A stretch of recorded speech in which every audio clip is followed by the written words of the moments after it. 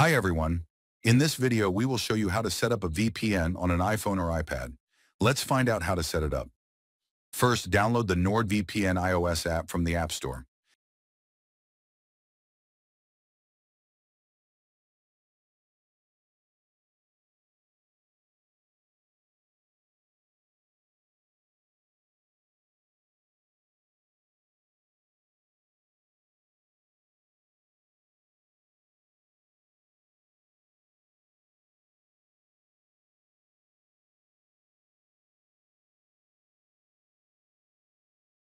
Then open the app and tap Login if you already have an account, or sign up to create a new one.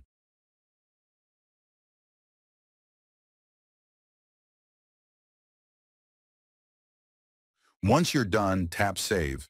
A privacy notification will pop up. Click Agree and Continue.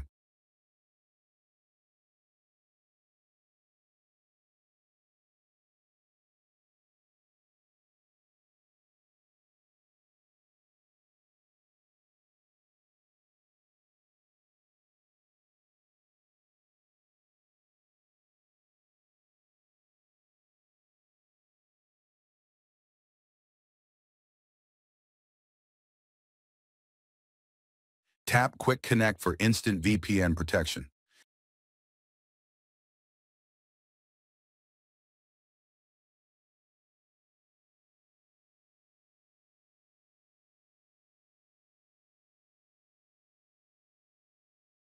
When connecting for the first time, you will be asked to allow NordVPN to add VPN configurations.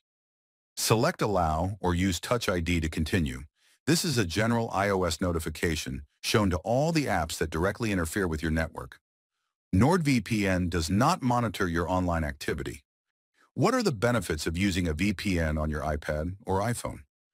A VPN, such as NordVPN, encrypts your online traffic by connecting to servers all around the globe. You can hide your virtual location with a single click. This is especially beneficial when connecting to public Wi-Fi networks. A VPN encryption can mask your online activity from hackers, internet service providers, and other prying eyes. Also, NordVPN offers Threat Protection Lite. Turn on this feature to guard yourself against intrusive ads and malicious sites while connected to a VPN.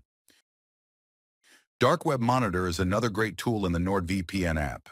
It scans dark web forums and sites to inform you of potential leaks of your NordVPN email address.